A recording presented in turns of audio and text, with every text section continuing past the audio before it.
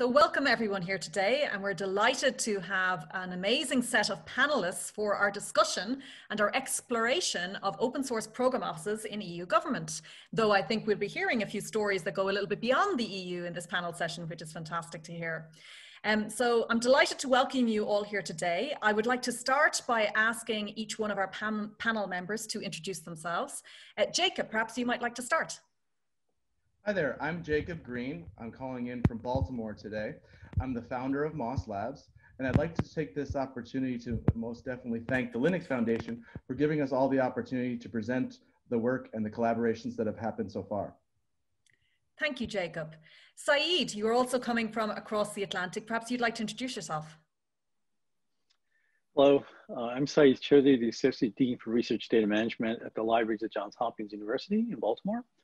I've been working with Jacob for uh, quite a while now, and I lead the open source programs office here at Johns Hopkins. Thank you, Sayeed. Philippe, might you introduce yourself, please?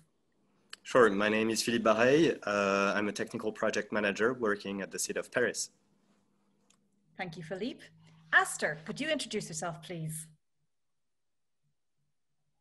Hello, everyone. Uh, my name is Astor Nummelin Carlberg, Policy Director with the think tank uh, Open Forum Europe in Brussels. And Nejia, perhaps you could introduce yourself, please, for the audience.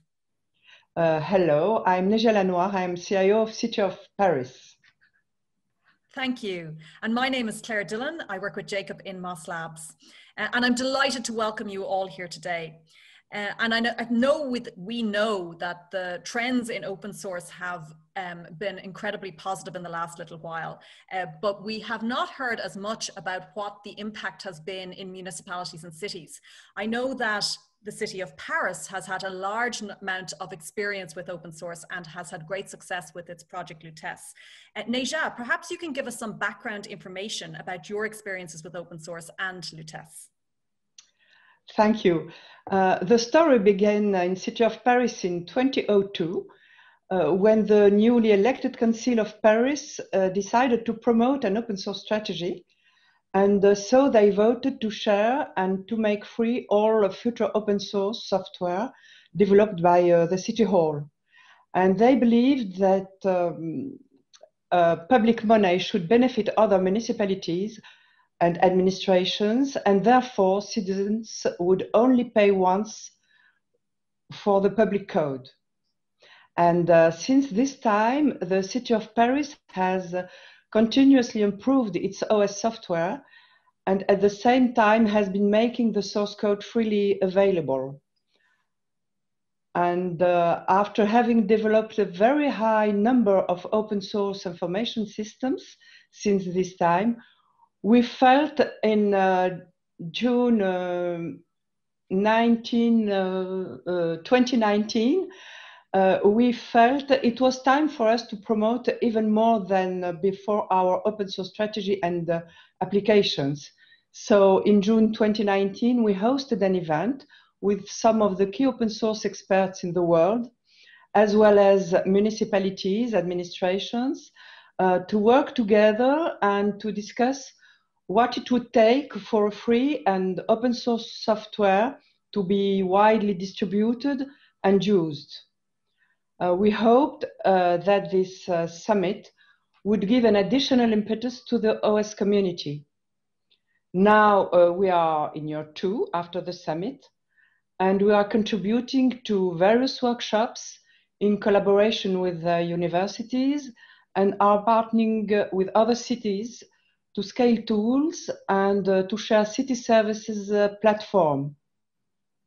Uh, as you know, one of the outputs of the summit was to develop OSPOs.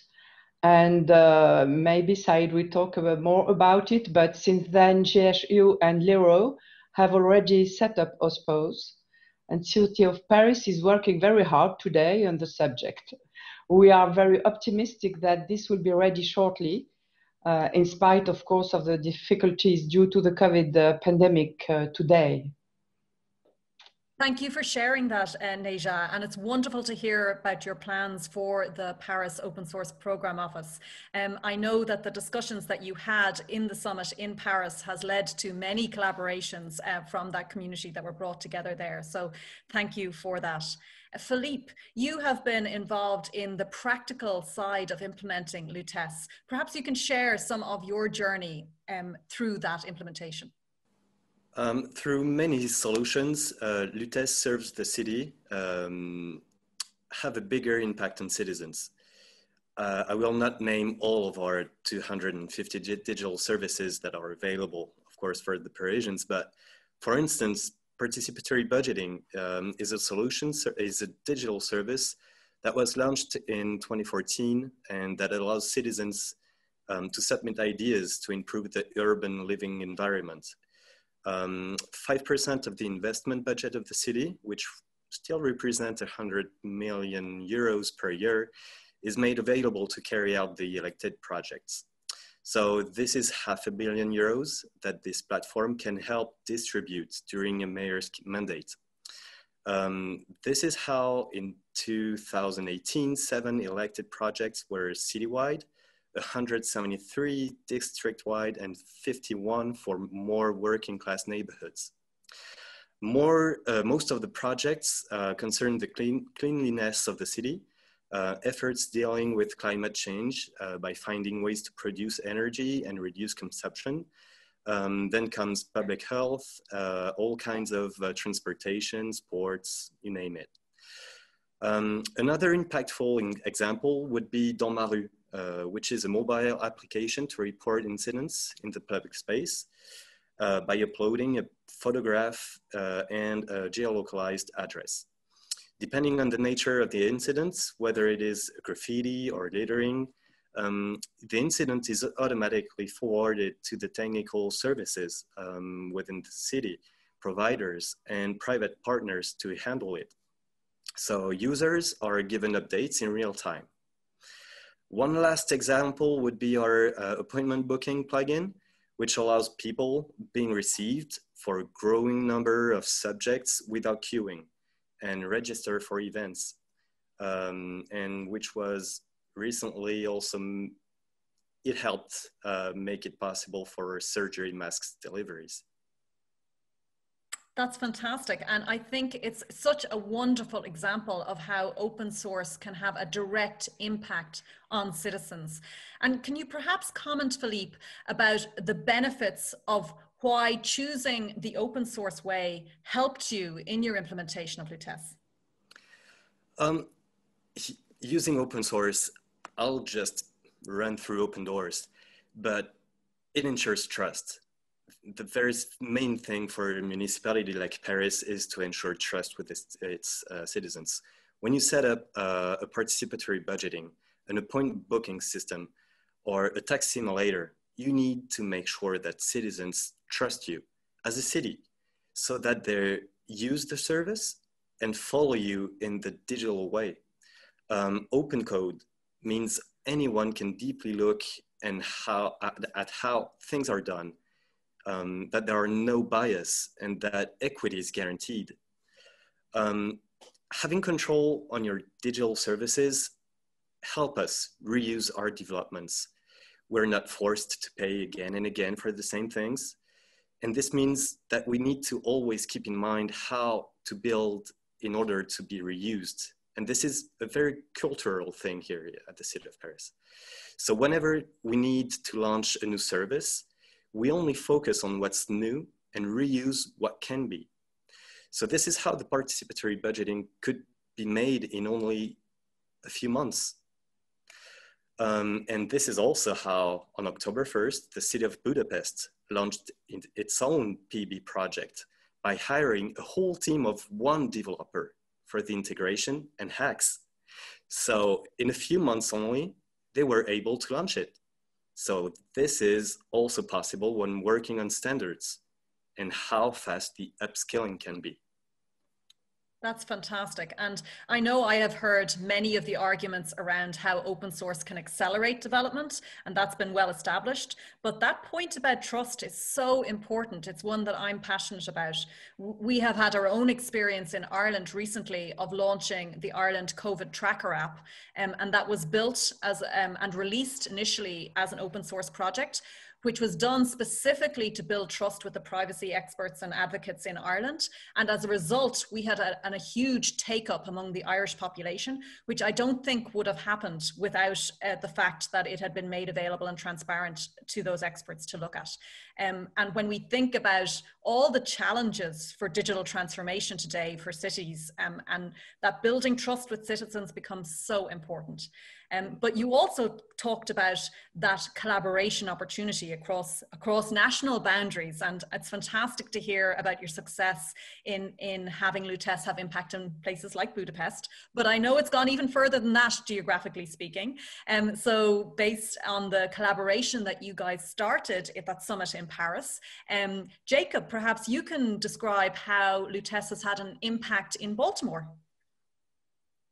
Sure, I'm happy to uh, discuss Baltimore. Baltimore's about to go through a digital transformation. There are a lot of the digital services uh, that the city is looking at, at, at, uh, at putting into place. And some of us were asking the question, where is the opportunity for openness and transparency? Where is the open source solutions available for cities like Baltimore to choose from? And um, what, that journey led us to the folks here at, at in, the, in the city of, of Paris, Nejia and Phil. We're, we're, uh, we're uh, we, we, got connected to them and we had a tremendous conversation about their project Lutece. And it seemed very fitting that uh, the, both the technology around Lutece, bringing that ball back to Baltimore as a solution, as well as the spirit and the passion of, of to see a, see a government so committed to bringing open source to its citizens to try to get that culture um, brought back and, and, and made available to, to both the city's citizens of Baltimore, the constituents of Baltimore, and the cities in, in general. Um, that led us to uh, a, a tr tremendous partnership to really say, let's look outside of Baltimore itself. Let's say, not, not can we do everything on, on our own. We are part of a larger ecosystem. And that larger ecosystem is the open source ecosystem that many in this, this community, many of the people in the room who will be viewing this uh, at, the, at, the, Linux Foundation, that ecosystem that, uh, we've, we've, uh, that you participate in at the Linux uh, conferences, at Eclipse conferences, and at many of the open source uh, community events, that is that spirit of openness and transparency, that concept of community that I think translates very well to the, what we're trying to do uh, and a lot of the stakeholders are, have been trying to do in Baltimore for, for a long time. It was that kind of connection that, uh, uh, that brought us to the, the participation uh, with the help of Danese Cooper uh, to launch the, the summit uh, with, with uh, Nejia and the city of Paris in June of, of 2019 to really explore the idea of where is, the, where is there an opportunity for the open source community the open source ecosystem, all of the major players within the open source uh, ecosystem to come together and try to have a collective impact for cities in general. It was, it, it was an amazing event and we've seen a lot of great um, um, um, uh, work come out of, of, of that, um, out of that summer, that summit. One of the specific outcomes of that and realizations is that what we're talking about when we're talking about open source is not just the collaboration between individuals around code. It is the collaboration between institutions, the collaboration between institutions of governments and cities, universities, and the private sector itself. As, as a microcosm of the, of the summit where we all got together, what we saw is we needed to find a way for that kind of conversation, for an institutional construct to exist, to allow the, that, that spirit of collaboration to really um, uh, have impact and to see tangible results. The Linux Foundation and the TODO group have been, have been great in popularizing this concept called the Open Source Program Office. The Open Source Program Office um, has been this, this construct that allows industry to best interface a corporate organization to the broader open source ecosystem. So we theorized, can we then not expand that construct to governments and universities in a more systematic and structured way to allow these collaborations that we saw happening at the summit in June 19th in Paris to occur on a much more regular basis. And um, uh, we've had a lot of great success from that. We've created a, a, working group, and you'll hear some of the stories very soon of um, some of the other OSPOs um, that, that, have been brought together through this, the, some of the collaborations that were already starting to, to occur from this, and uh, to see how using an OSPO has made it possible for the collaboration around Lutece, for both Lutece to get worldwide uh, exposure and collaboration, as well as for uh, groups that have OSPOs to contribute back. And, and it's a real concrete example of where the open source ecosystem, I, I believe, can come together through a structured way of collaborating around projects and, and, and, and, and, that can have such great impact to the cities of the world. I'll, I'll turn it back to you, Clare, but before I do, I wanted to mention the, the, the scale of the challenge we're facing. There are 32,000 municipalities in the US alone. 32,000 opportunities for the benefits that, that the work that Paris has done, to be brought over to, to, to benefit them, as well as an opportunity for all of the work of those 32,000 municipalities to uh, transfer back over to Europe and, and elsewhere globally. That's the kind of collaborative uh, ecosystem we're really trying to uh, foster here. I think that's fantastic because what we've, you know, when we hear about the benefits of open source and what it can bring to citizens in terms of trusted citizen services, then really the question is how do we scale that? And what I'm hearing is that the construct of the open source program office in the context of cities and universities can really help build those pathways to allow those collaborations to happen much more smoothly and more often. And when you talk about that scale of the municipalities from a US perspective, we know that they're, you know, again, taking that then and multiplying it by the number in from a European perspective and indeed worldwide, you can see so much opportunity emerge from that.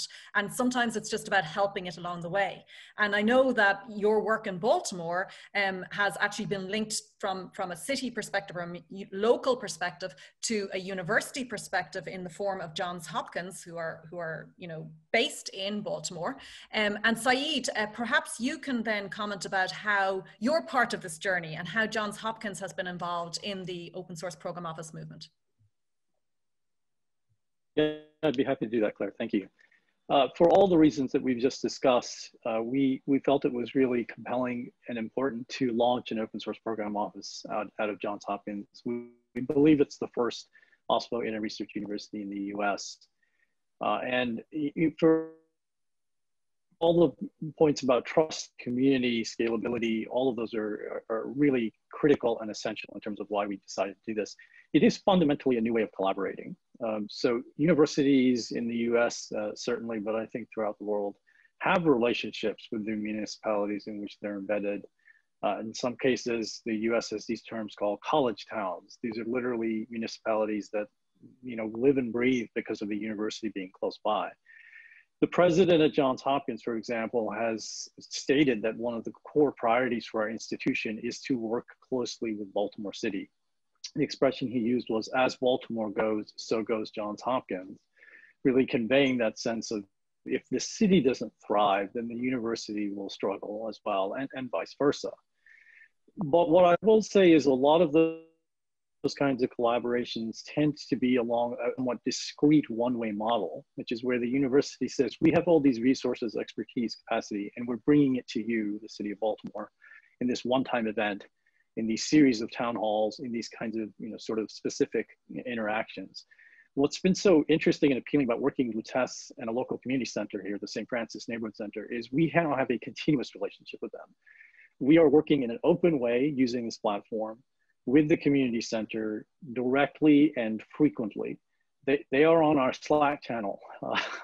So when we are talking about technical issues or uh, language issues, uh, which you know, from our perspective, sorry, we don't speak French. Um, I apologize for that. But all those kinds of things that you really are typically behind the scenes, right? You don't think about this, sharing those kind of information with the people that we use the platform. but we think it's important to do so. The OSPO allows us to have an interface from the university to the community centers, to the municipalities, to partners in other countries. Uh, if I had to try and do this kind of work through the legal arrangements that typically a university would, would work on, uh, it would not happen nearly as quickly and as seamlessly as it has. So the OSPO has basically allowed us to tap into the capacity and expertise within Johns Hopkins, reach out directly to our partners in Paris uh, that have developed the platform, and engage repeatedly, continuously, you know, in a very dynamic and respectful way with the community center that, that will use it. And we believe by doing so, we are basically setting up a model uh, and a, you know sort of an example that the rest of the city's community centers can look at. And in, in many ways, it's a different form of interacting with the city as well. It's very different if the university and the mayor's office have a conversation versus community centers where people are directly using their services. And many of the services that Nejan Philippe described are universal, right? And Dans ma rue is 311 in the United States context. But participatory budgeting doesn't exist uh, in, in Baltimore. But I can assure you, as a citizen of Baltimore, that is something we want, uh, particularly now. So while the results will be different, the needs are very similar. Uh, and the approach of using this open source uh, you know, ecosystem that Jacob described has just been wonderful. Uh, I think that's fantastic. And I remember hearing some of the feedback uh, from uh, citizens of Baltimore. And uh, there was one comment that really stuck with me when they were talking about how the benefits of open source. There was a comment about the idea that sometimes when you're um, a, an individual, that sometimes you feel that, like, you know, institutions sometimes do tech for you. It's kind of like everything's built for you and you're just expected to accept it. Um, but they made the comment that they felt that your collaboration, something technology was being built with them and that that made a difference in terms of their um, wanting to take that on and, and, and the value that they saw in it.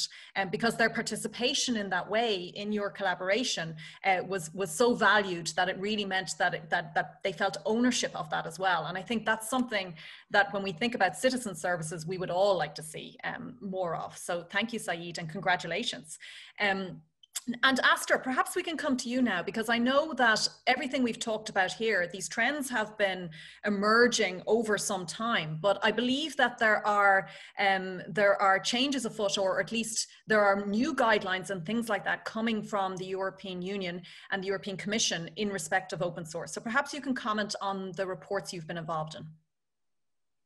Yeah, sure. Uh, thank you very much, Clare. Uh, the um um, you know, as a think tank uh, working a lot on open source and open source policy, uh, I have to say that there's uh, just in the last year or so, things have been moving uh, quite quickly and quite dramatically in terms of the conversation. And um, and I guess I'll start off a little bit just with with um, um, the kind of uh, grand and broad perspectives of the EU and the European Commission to bring it back down to the level of the city, uh, uh, the municipality, and the citizen, because they're all linked here. And uh, I would say that the, there's been an awakening uh, in the EU and uh, among many of the EU governments, and of course in the European Commission. you know, they've recognized that you know open source is widespread, not just in the private sector, which you know that truth we know, but you know if you look at any public administration today that has any kind of digital ambitions, open source is part of the conversation. It's that is the reality. Um, at the same time, um, the Commission and the EU is concerned of uh, Europe's place in the world uh, digitally uh, where are we in terms of uh, competitiveness and impact? And this is in a world uh, of in, unstable geopolitics and and um, uh, there are trade tensions. There are, are, are uh, identified dependencies in the digital infrastructure. And i would say that these three things have changed the conversation in brussels and in in many of the member state capitals realizing that um, open source is not just a conversation around cost saving it's not just a conversation um, about like agile, uh, good software development and connection to communities. While all this is very important, open source is also of a, a strategic nature today. The conversation uh, and the way open source is looked at, it's uh, it's part of the conversations of the big digital uh, challenges that that Europe faces. And having said that, you know, you see indications of that in many of the strategic documents. I'll touch on some of these, but it's it's really more than just talk. There are actually efforts and things being done. And and uh, the first one, and we're quite excited about this. I think it's on the 28th of October. The European Commission is releasing uh, the fourth iteration of its uh, open source strategy. Um, this, uh, uh, and now this is a little bit of uh, EU talk, but this has been upgraded from an internal strategy of, of um, uh, of the, the, the, Directorate General for Informatics in charge of the IT infrastructure to a commission communication. So this is a document and a strategy that touches every single part of the commission. And a lot of the effort in this strategy is going to, to uh, be to make sure that this is a transformational document that looks to see how the work within the commission can be changed in the broadest sense, like so horizontally in the organization, to really change the way of working with digital in the European Commission. So this is a very brave and big step in many ways uh, for the Commission, really showing that they are, are uh, pivoting in terms of how they engage with open source. And then together with that, there's also something that we are very, very involved in at, at uh, Open Forum Europe. Um, um, uh, the Commission in, in uh, January this year uh, commissioned um, uh, an impact study of open source on you know, the economy, um, but also digital independence and competitiveness.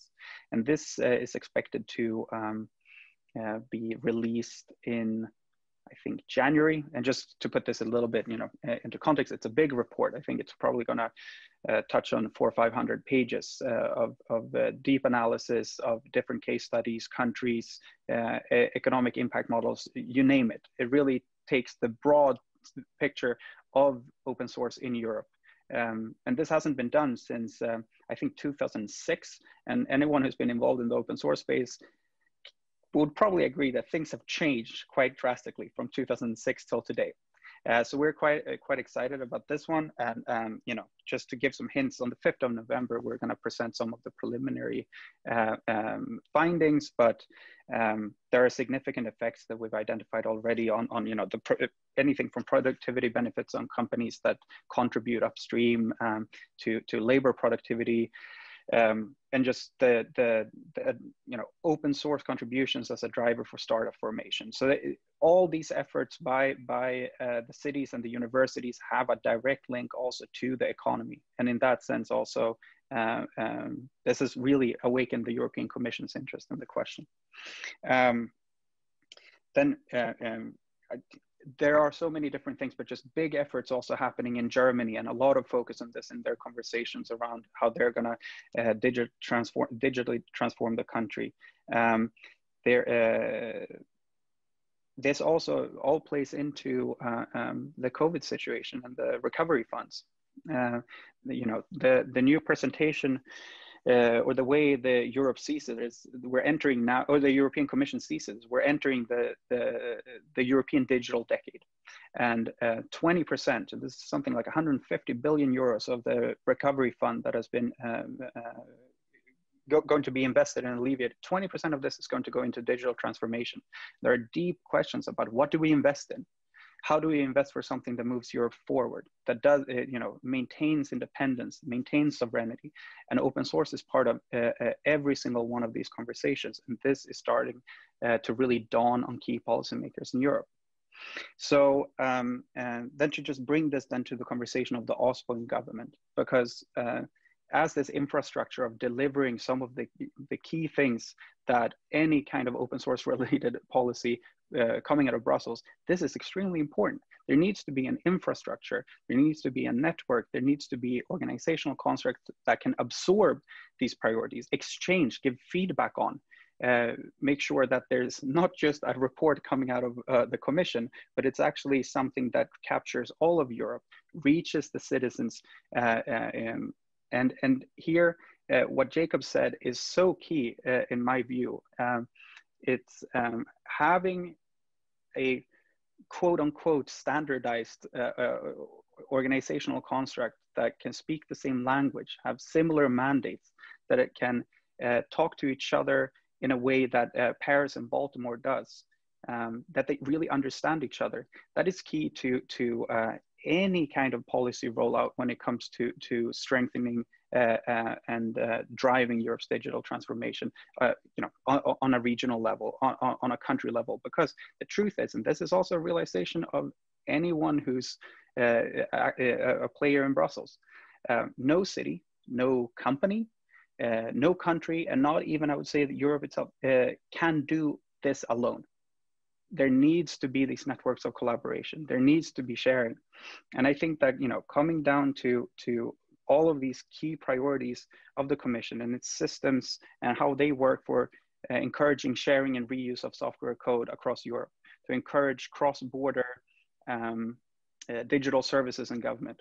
All this you know open source and open standards it will be key to to all of these conversations in order to um, and as well as OSPOs and these organizational constructs to create this kind of cross-border interoperability because the question comes down to scale. The questions ahead and the challenges are massive.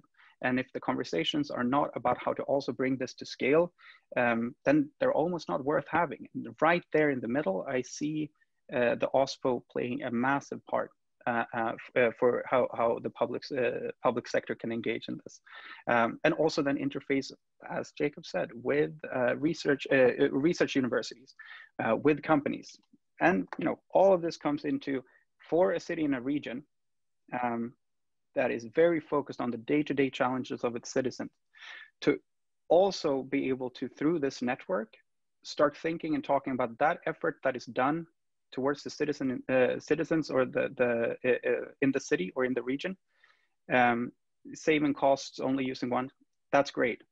But in doing this work in this network we can also start talking about building things at massive european and to be honest global scale.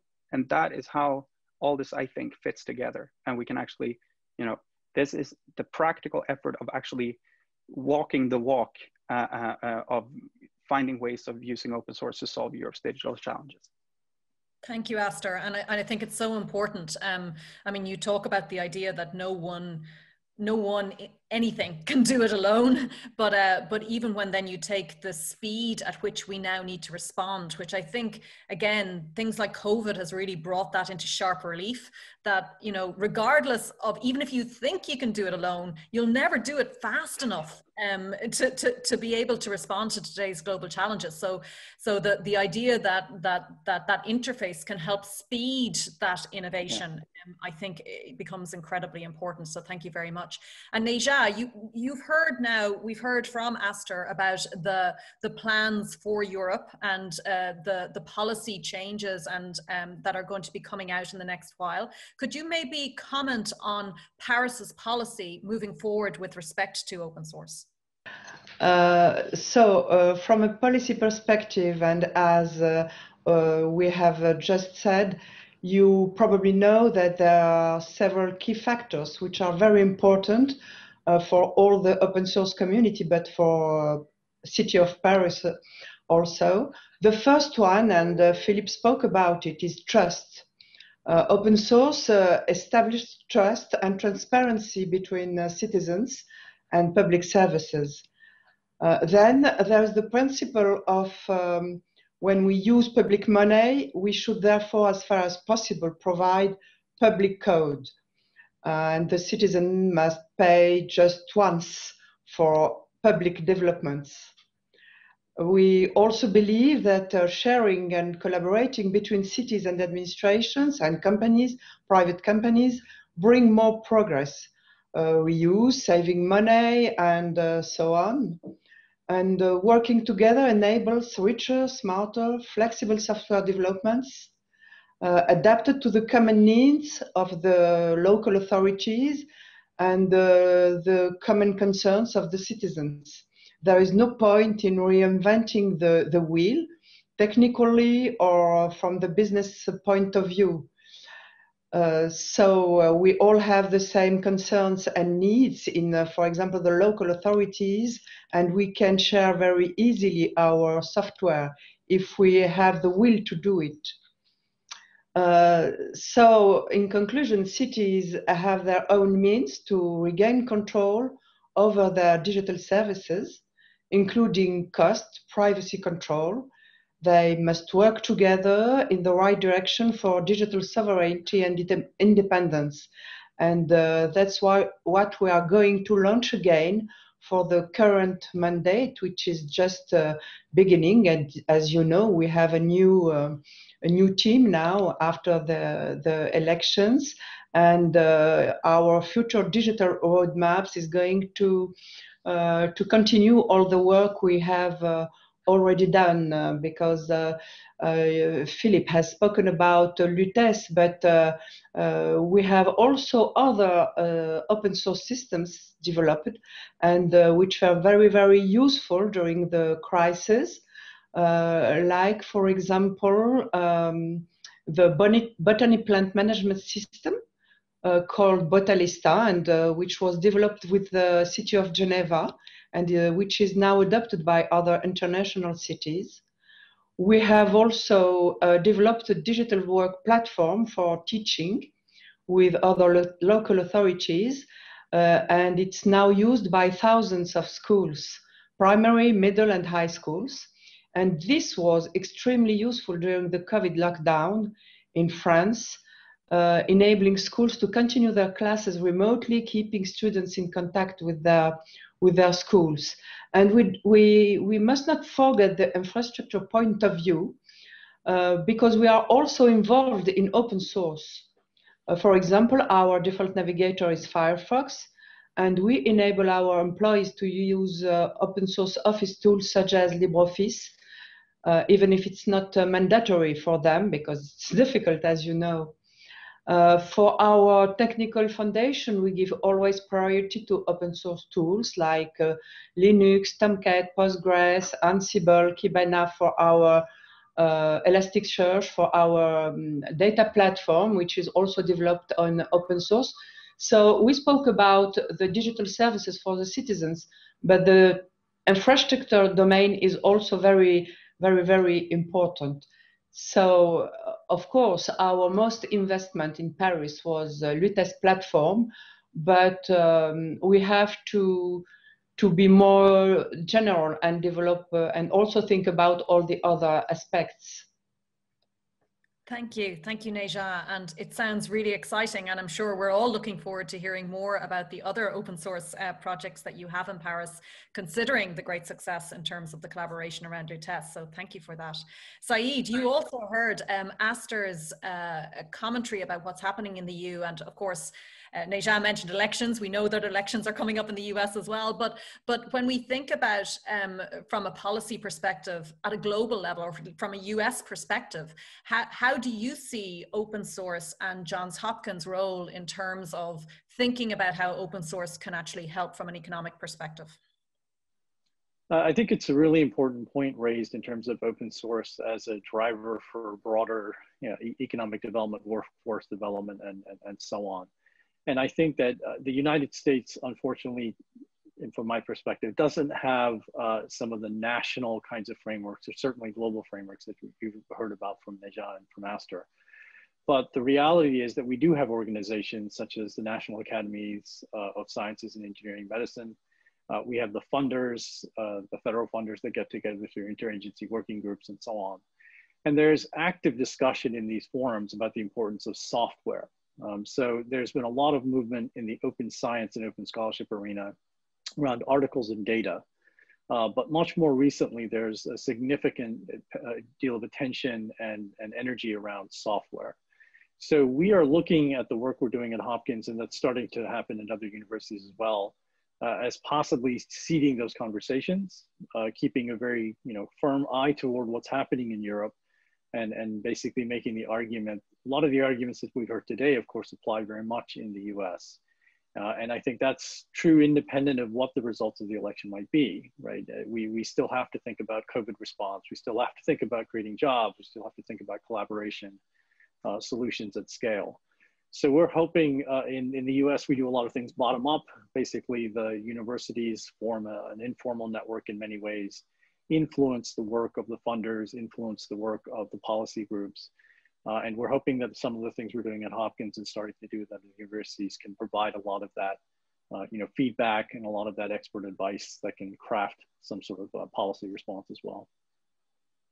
Thank you. And, and I also want to say thank you from Ireland's perspective. I know, um, as Nejia mentioned, um, LERO, the Irish Software Research Centre, is, has recently launched their own open source program office. And I know they are looking forward to working with Johns Hopkins on various different collaborations and programs. So um, it's marvelous to see all these connections happening um, back and forth across the Atlantic. Uh, Philippe, perhaps I can come to you now and just say, you know, when you think about the future and you think about how, from from an implementation perspective, you're moving the, these policy um, things forward. Um, what, what do you see in the future for um, your role in, in open source? Well, as Say said, uh, we have to, to, remember that we strongly believe at the City of Paris that most of our needs are shared by any other city. So ever since this project was open sourced, we've made efforts to grow the community to reach bigger impact on citizens. By opening our code to other cities, we secretly hope that they will contribute back so we can improve our digital tools thanks to them and also unlock even more value also for others to benefit from. So one of the outputs of the last year's uh, Open Source City Forum is that we, are now working with the Johns Hopkins University, um, and, which is a great thing. Uh, and as Nejia and uh, Said previously said, we're tech guys talking to each other and making this evolve and very quickly because we speak the same language. So they're contributing, bringing expertise on the internationalization of the solution since we've had never faced it before. So we hope this will also help in a broader adoption by cities across the, the borders. In the near future, we, we try to gather collective intelligence, work with ethics, and for the good of all. Um, we're in a context, as I've said many times, with low and decreasing budget, where more needs to be made with less. So more administrations or government can come along bring their expertise and instead of having 10 different solutions do the same things and found it as many times we can be maybe more 10, 10 groups working on the best solution for all of us. Make services more complete quicker to reuse and also implement.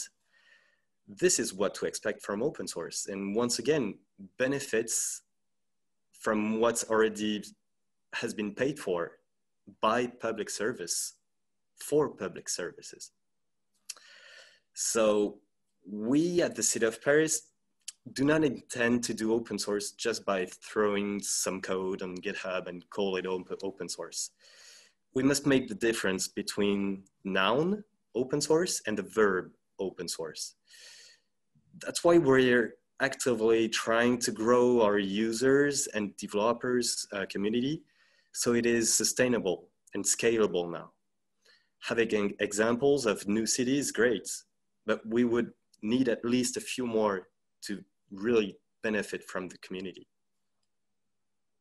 Thank you. And, and I look forward to seeing more people get engaged. And I know that your approach and the impact that you're having on citizens should certainly inspire them to also become engaged. So thank you very much. Jacob, we'll come to you now. Um, you know, you, you were inspired by this initial collaboration to to think about the idea of encouraging this, you know, the setup of more open source program offices. Um, can you talk to me about the, about how that movement's going, and if people are interested in getting involved, how they might do that? Sure. Uh, let's start with. I wanted to start with the the, the name of Lutece.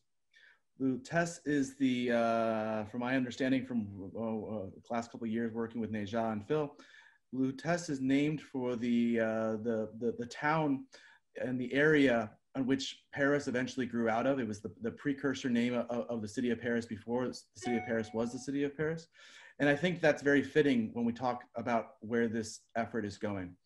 Um, from that town of Lutece sprung this amazing city that we is known the world over called Paris, a city that is known for collaborations on many fronts, including climate change.